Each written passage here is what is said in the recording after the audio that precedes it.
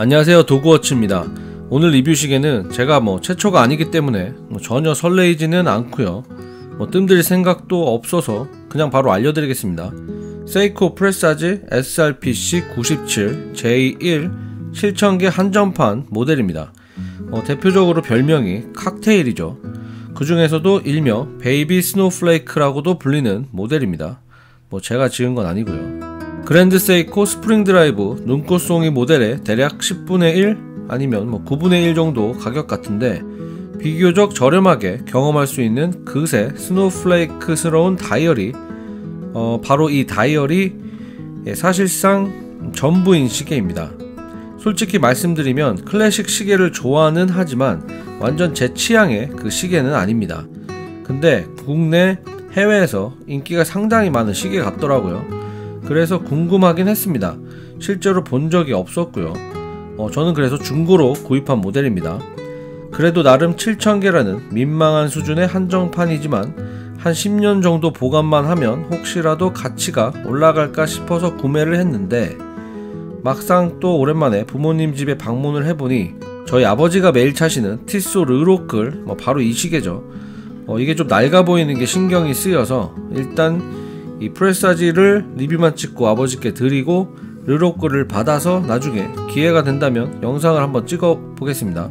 뭐 시계를 모으기만 하면 뭐 하겠습니까? 뭐 다 매일 차지도 못하는데요. 그쵸? 근데 문제는 제가 내일이면 가거든요. 뭐 당분간 이곳을 못 올 것 같아서 하루 만에 대충 리뷰하고 올리는 영상이니 저퀄리티를 먼저 양해를 구합니다. 인트로 영상 아니 어, 오늘은 그냥 패스 스테인레스 스틸 케이스 크기가 40.5mm이고 두께는 얇은 편입니다. 11.8mm입니다. 아담한 크기는 아닌데 약간 존재감 있는 정도의 dress watch 느낌입니다. 첫인상은 아무래도 화려한 이 다이얼 때문에 소박한 느낌은 아니고 케이스 전체가 mirror polishing 처리가 되어 있어 반짝거리지만 어, 이 지문과 기름진 번들거림이 엄청나게 잘 묻어서 뭐 예전에 제가 비슷한 언급을 한 뭐 표현인데 그냥 24시간 닦아줘야 하는 뭐 그런 외관입니다. 제가 처음 이 시계를 만져보고 어, 대충 쭉 보니까 어, 저는 이 시계의 경쟁 모델을 티소의 비소데이트라고 생각합니다. 은근히 디자인 구성과 사이즈, 뭐 전체적인 느낌이 비슷합니다. 레트로한 느낌이 확실히 있습니다. 특히 하드렉스 글라스가 돔 형태라서 어, 이 레트로한 요소를 더욱 살려주는 구성입니다. case back은 시스루 형태인데 movement는 4R35 프레사지 entry급 무브입니다. 프레사지는 세이코에서 뭐 나름 고급 기계식 라인 뭐 정도로 보시면 되는데 최상 위에는 팔진동과 column wheel, 수직 클러치 시스템이 장착되고 34개의 보석과 45시간 power reserve에 8R48 무브가 있고요. 어, middle급에는 역시 팔진동에 29개 보석, 35시간 power reserve에 6R27 movement가 있고 그리고 지금 보시는 이 entry급의 육진동 41시간 reserve에 4R 계열이죠. 35도 뭐 있고 57도 있습니다. 이 4R 계열 무브가 있습니다.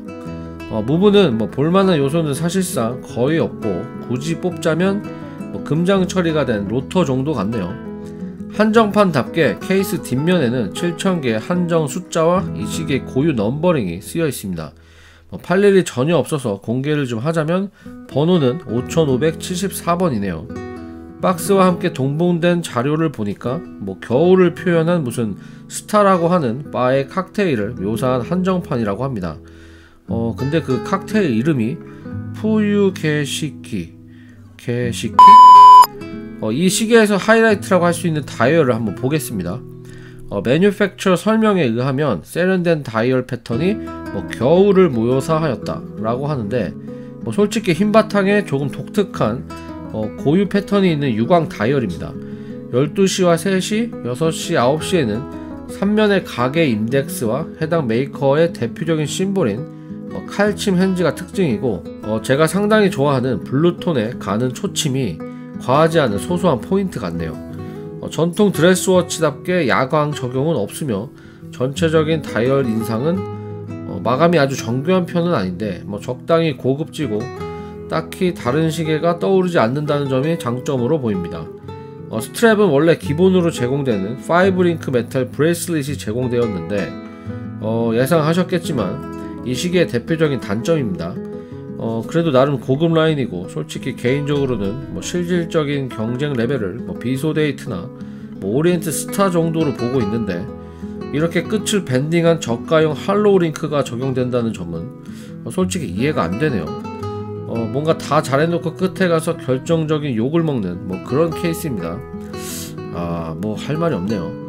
solid link 원가가 한 3만원도 안 할 것 같은데 뭐 이게 그렇게 어렵나? 어, 현재 이 시계는 독일제 리오스 가죽 strap이 장착되어 있습니다. 뭐 특별히 고급스럽지는 않은데 뭐 적당히 도톰하고 내구성은 괜찮아 보입니다. 큼지막한 용두는 잡기가 상당히 좋아서 이렇게 수동 감기를 하거나 한 칸 뽑아서 날짜 조정 끝까지 뽑아서 시간 조정하기가 굉장히 수월합니다. 전체적인 용두 액션은 부드럽고 딱히 단점은 없는 것 같습니다. 총평입니다. 어, 비교적 합리적인 가격으로 그랜드 세이코스러운 느낌과 snowflake 다이얼을 경험할 수 있는 이 프레사지 칵테일 모델은 60만원 후반의 retail가이지만 뭐 어떤 여러 루트를 통해 만약 40만원대 구입이 가능하시다면 어, 저는 나쁘지 않은 선택으로는 보입니다. 다만 어, 납득할 수 없는 이 bracelet의 개선이 분명히 필요해 보이고요. 한 1, 2mm 정도 작은 케이스를 선택한다면 개인적으로는 조금 더 만족도가 높은 시계가 될 수 있어 보여 살짝 아쉬움도 있습니다. 그리고 스크래치에 상당히 약한 케이스라는 부분은 꼭 참고해 주시기 바랍니다. 마지막 한 줄 평은 한정판이지만 솔직히 가격이 오르지 않을 것 같네요. 어, 지금까지 도그워치였습니다. 감사합니다. 구독과 좋아요, 알림 설정 도와주신다면 저희 도그워치 지속 가능 경영이 가능합니다. 사랑합니다.